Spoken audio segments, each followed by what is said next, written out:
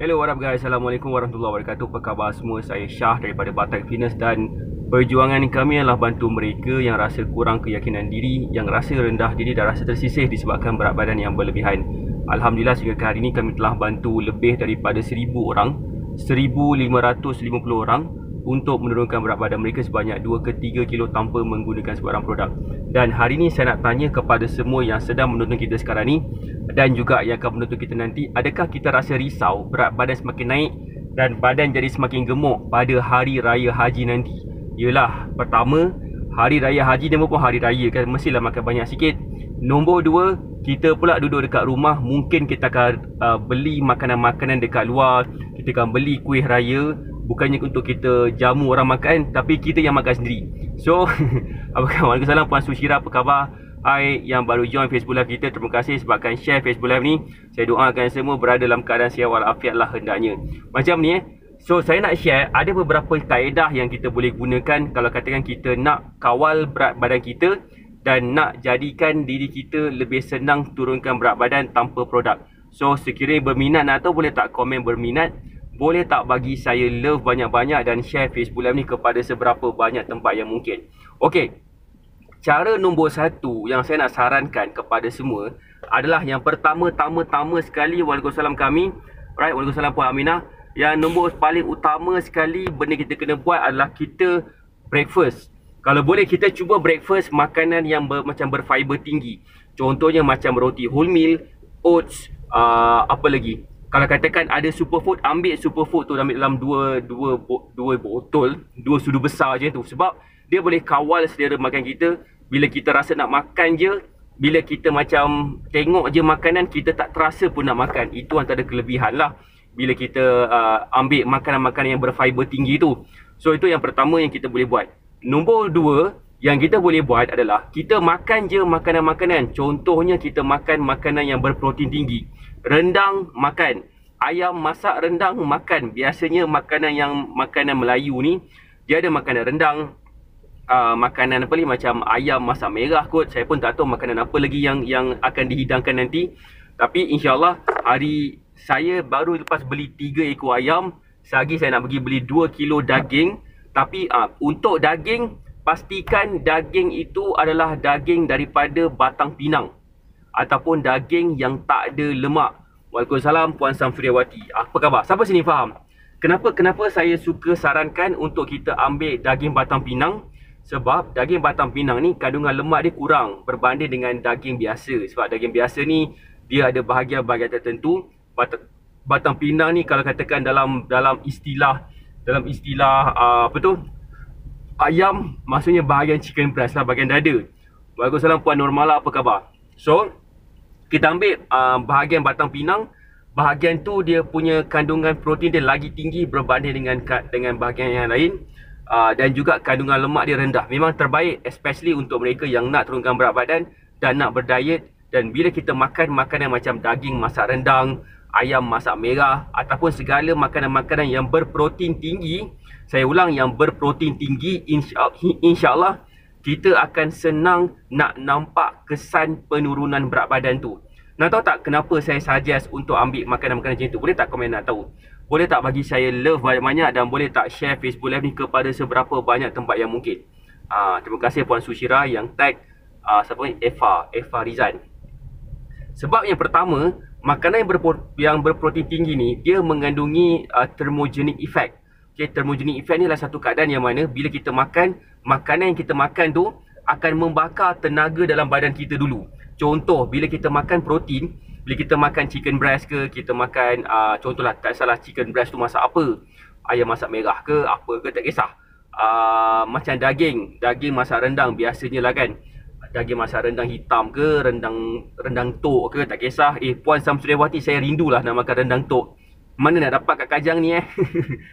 Kena pergi tapah. Dekat RNR tu baru saya dapat. kan so puan kami pun nak tahu so kita kita makan yang makanan berprotein tinggi tu sebahagian daripada kalori daripada makanan berprotein tinggi tu akan uh, akan digunakan untuk mencernakan kita punya makanan. Uh, so bermaksud apa yang kita makan tu dari sudut kalori tu dah kurang sikit. Kurang berbanding sepatutnya. Tetapi kita tak boleh ambil protein terlalu banyak sangat. Kalau ambil protein yang terlalu banyak sangat nanti kan dia akan dia akan membuatkan buah pinggang kita ada masalah. Jadi macam mana nak tahu banyak mana kena ambil dan kurang mana yang kena ambil? Siapa sini siapa sini nak tahu? Boleh tak komen nak tahu? Ha. Kebanyakan daripada kita, kita dengar okey, kena kurangkan makan tu, kena kurangkan makan ni, kena lebihkan makan tu, kena lebihkan makan ni. Persoalan dia nak lebih banyak mana, nak kurangkan banyak mana. Waalaikumsalam Puan uh, Cik Na. Good morning Puan Angle.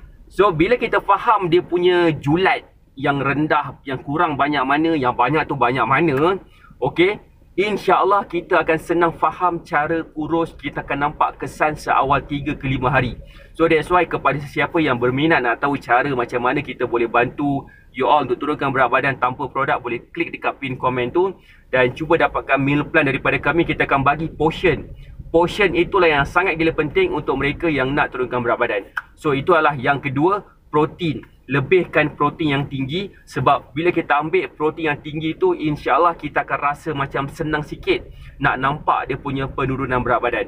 Siapa sini faham? Boleh tak komen nampak? Boleh tak komen faham? Boleh tak bagi saya love banyak-banyak dan please tolong share Facebook Live ni kepada seberapa banyak tempat yang mungkin. Waalaikumsalam Puan Fazilah Ila. Alright, itu adalah yang kedua. Siapa sini dah ready untuk mengetahui yang ketiga boleh tak komen dah ready nak tahu yang ketiga. Terima kasih yang share Facebook Live ni. Hai khabar semua yang baru join Facebook Live ni? Alright so yang seterusnya yang ketiga Cara yang kita boleh buat juga adalah Cuba kita kurangkan pengambilan minuman-minuman yang manis. Try elakkan langsung. Tak payah ambil minuman lans minuman manis langsung pada hari tu. Sebab pada raya haji ni Saya tak yakin kita akan dapat keluar ke mana-mana sebab pertama kes tinggi masih tinggi berbelas ribu dan separuh daripadanya daripada Selangor ni.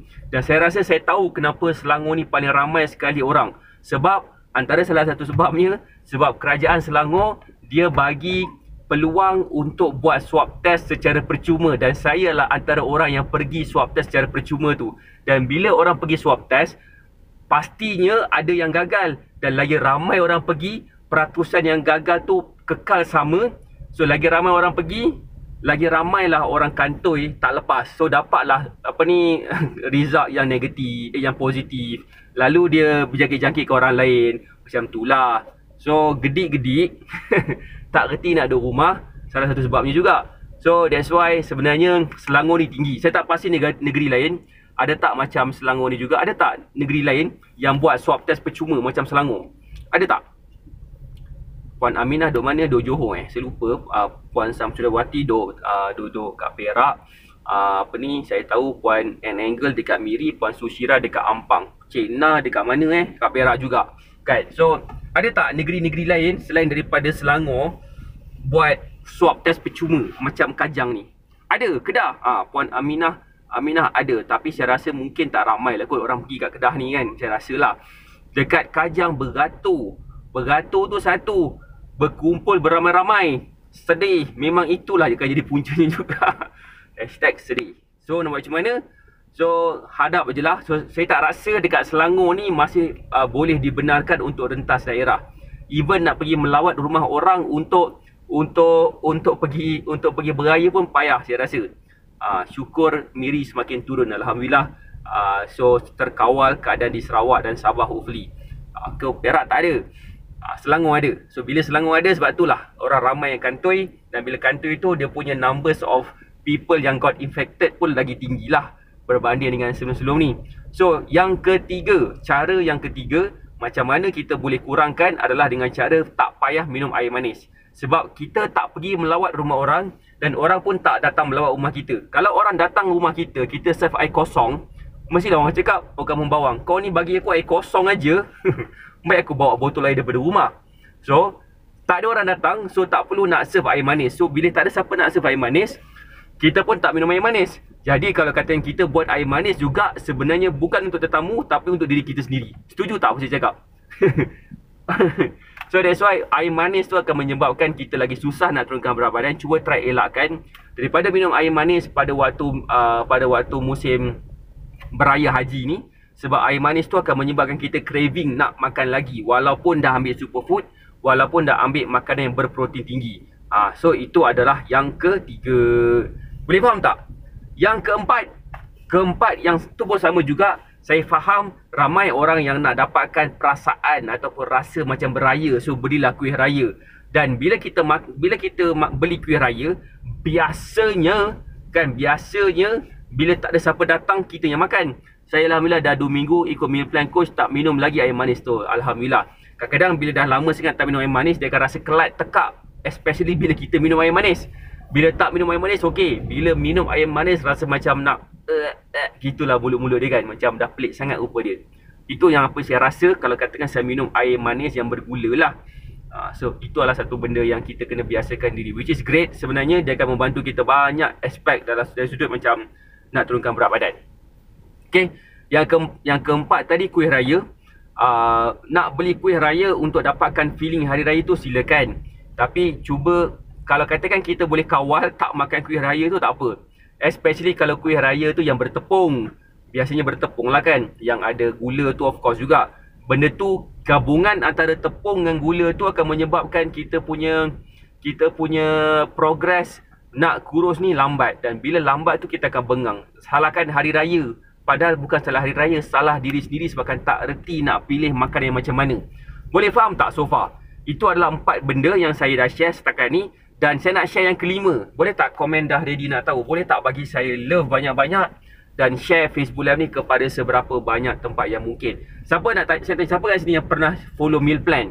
Boleh tak komen pernah follow meal plan? Macam Puan Sam, uh, Puan Sushira, dia follow meal plan. So, hilang rasa macam, hilang rasa macam nak minum air manis. Uh, so, kadang-kadang orang tak dapat nak elakkan daripada minum air manis. So, Itulah yang menyebabkan kenapa ramai orang bila follow meal plan dia nampak kesan dengan baik. So macam mana nak dapatkan meal plan? Boleh klik dekat pin komen. InsyaAllah kita akan kita akan uh, bagi meal plan mengikut kepada makanan kegemaran kita supaya pada hari raya nanti kita bolehlah lagi makan kuah kacang, sate, ketupat, uh, ketupat apa semua tu nanti saya akan beritahu. Waalaikumsalam Puan Jamna apa khabar? Right. Yang kelima, yang kelima cerita pasal ketupat apa tu uh, nasi impit semua kan. Saya faham sebenarnya kita tak rasa macam tak beraya bila kita tak makan nasi impit ke ketupat apa semua. Sebenarnya boleh makan tapi cuba limitkan. Limitkan kepada satu ke dua cube je lah kot kan saya rasa kenapa? Sebab dalam ketupat dalam dalam nama dalam uh, uh, nasi impit apa semua dan yang seangkatan dengannya dia mengandungi gluten. Dan gluten ni kadang-kadang dia akan mengganggu proses penghadaman seseorang. Walaupun sesetengah orang tak ada pun masalah gluten intolerance macam bila dia ambil gluten dia sakit perut ke ataupun dia rasa tak selesa apa benda semua kadang-kadang tak ada orang rasa macam tu. Tapi kenapa ada orang yang ada masalah uh, pembuangan disebabkan dia kerap ambil makanan yang bergluten ni. Macam dia ber- bergluten ni pernah tahu tak makanan bergluten ni macam macam mana? Makanan tu adalah jenis makanan yang macam melekit-lekit. Ha, so bila benda yang melekit tu masuk dalam badan kita, so dia akan bagi kita punya kita punya perut kita tu macam dia melekat kat dinding perut, dia melekat dekat dekat tempat lain kan, melekat dekat usus. Bila banyak sangat makanan macam tu, so dia akan jadi macam faham tak? Bila katakan perut kita ada makanan yang melekat yang tak dibersihkan betul-betul, so bila jadi macam tu, so dia akan dia akan macam lambat nak dikeluarkan. Kita punya objektif bila kita makan sesuatu makanan makanan tu akan di, akan dimetabolismakan dan dicernakan ada dua proses yang akan akan berlaku dimetabolismakan dan dicernakan dimetabolismakan tu dia akan men, dia akan bertukarkan makanan tu kepada tenaga dengan cepat so makanan yang dicernakan tu dia akan cuba untuk me, melawaskan membuang sisa makanan tu selepas diserap segala nutrien dekat dalam makanan tersebut dan dua proses ni akan terganggu apabila kita ambil bila kita ada masalah pencernaan. Masalah pencernaan ni akan datang apabila bila kita ambil makanan-makanan yang susah nak dihadam, yang dia akan mengganggu penghadaman kepada uh, makanan-makanan lain, dia akan menyebabkan kita ada masalah pembuangan, masalah penghadaman dan sebagainya. So, cuba try kurangkan, bukan elakkan tapi try kurangkan pengambilan makanan yang bergluten So uh, saya rasa kalau tak salah saya pun nasi lemak pun dia makanan bergluten juga kalau tak salah saya lah. Minta maaf kalau kata saya salah. Hari ni puasa sunat Arafah. Alhamdulillah. Saya hari ni tak sempat nak puasa. Dah termakan. Ah, alamak. Puasa Arafah lah hari ni. Lupa. Tak apa. So itu adalah yang kelima kot. Yang kelima. Saya nak share lagi lah kepada semua. Tapi dengan syarat kena tekan butang share banyak-banyak. Share kepada 5 tempat, 10 tempat. Satu benda yang saya saya galakkan untuk semua buat kalau tak ada masalah ni. Especially kalau belum lagi pernah buat. Boleh tak komen nak tahu? Boleh tak uh, bagi saya love banyak-banyak dan boleh tak juga share Facebook Live ni kepada seberapa banyak tempat yang mungkin kita nak bantu lebih ramai lagi orang terutamanya kepada mereka yang cuba nak turunkan berat badan tapi masih lagi tak nampak jalan so hari ni saya nak bagi tahu kepada semua jalan tu ada tinggal kita nak atau tak nak je pilih so jalan dia macam mana klik dekat pin komen tu dapatkan meal plan daripada kita InsyaAllah kita akan buatkan meal plan mengikut kepada makanan kegemaran masing-masing. Okey, nak tahu eh? Siapa lagi nak tahu? Boleh tak komen nak tahu? Boleh tak bagi saya love banyak-banyak dan share Facebook Live ni kepada seberapa banyak tempat yang mungkin. Kenapa muka saya macam muka penat? saya bangun pukul 4 pagi hari ni. saya buat buat kerja sikit. Puan Sushira tahu. Puan Aminah pun tahu. Saya settlekan uh, e-store Batak Fitness. Uh, sebabkan ada masalah dengan akses. So alham Alhamdulillah dah settle dah. Uh, tapi dah try dah belum? Uh, Puan Sushira dengan Puan Aminah dah try ke? Uh, masuk dalam e-store. E-store kita memang kita kita bagi akses kepada yang kepada nak dapatkan access lah eh. Dalam tu kita dapat dapat semua harga-harga promosi untuk Batak Fitness dalam tu.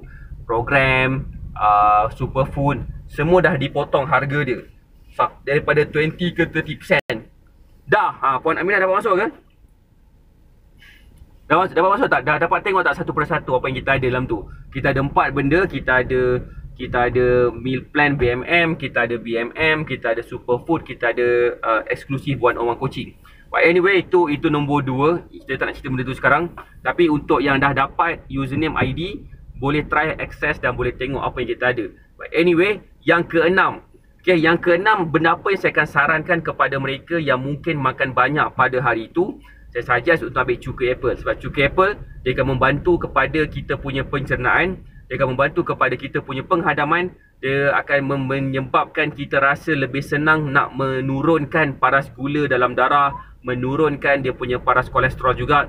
Dia tak membantu secara direct tapi dia membantu secara indirect. So bagi saya kalau katakan kita ada masalah-masalah seperti macam kencing manis darah tinggi kolesterol cuba try cara yang direct dan indirect. Cara yang direct seperti pemilihan makanan yang betul makanan yang mengikut kepada keperluan tenaga dia akan menyebabkan tenaga daripada lemak akan mula terbakar. Dan antara lemak punya bahagian yang akan terbakar lah daripada saluran darah kita yang sedang menyumbat yang sedang mengganggu aliran darah. Dan bila aliran darah kita terganggu dia akan menyebabkan kita tak dapat nak menghantar nutrien kepada setiap anggota badan. So that's why pentingnya untuk kita bersenam. Tapi bersenam tanpa jaga makan dia tak jadi. Boleh faham tak konsep tu?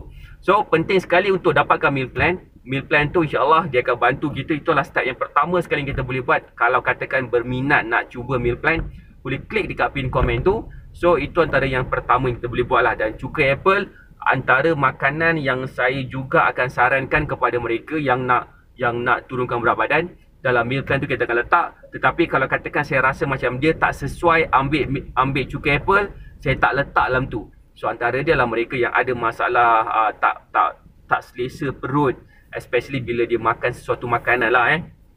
Antaranya lah makanan yang berasam uh, makan yang masam-masam macam tu. So dapat sesuatu tak hari ni? Siapa sini dapat rasa macam banyak benda dia dapat? Saya rasa saya biasa saya akan share dalam tiga pun tiga benda je lah kot maksimum.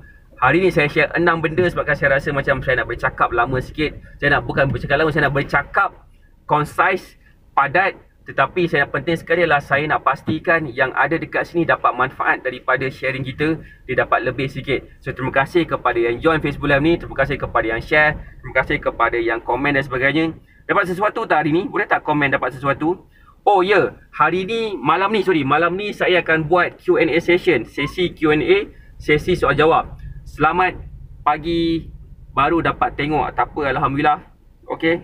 Uh, malam ni Malam ni kita akan buat sesi Q&A kepada sesiapa yang belum lagi uh, join kita punya Telegram channel, boleh join dan dekat salah satu post semalam saya ada letak, saya ada letak apa tu? Letak uh, satu post dekat Telegram channel untuk kita kemukakan soalan. So bila kita ada soalan just letak dekat situ, malam ni saya akan jawab. So kepada sesiapa yang belum lagi join Telegram channel kita, boleh join di sini eh. Saya letak dekat dia punya link https www.t.me slash nak kurus sihat cepat. Nak kurus sihat cepat boleh join telegram channel tu. Nanti salah satu post dekat situ kita boleh tanya ataupun kemukakan soalan. Sebarang soalan insyaAllah saya akan jawab dekat dalam uh, Facebook live kita malam ni.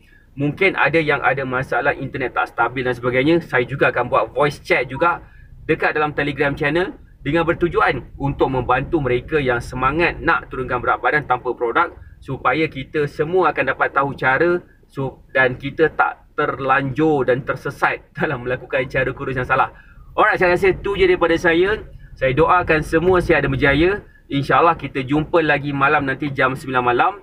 Okey, kalau ada soalan, boleh tanya soalan dekat situ.